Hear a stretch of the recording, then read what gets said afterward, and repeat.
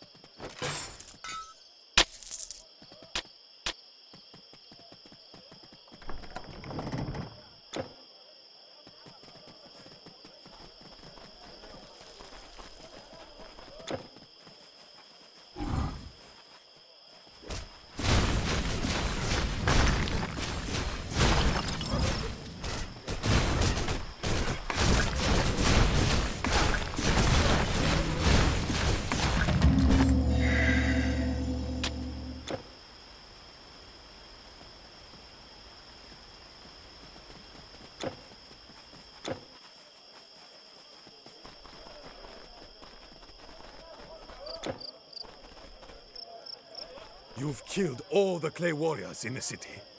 Our men were foolish to fear some curse.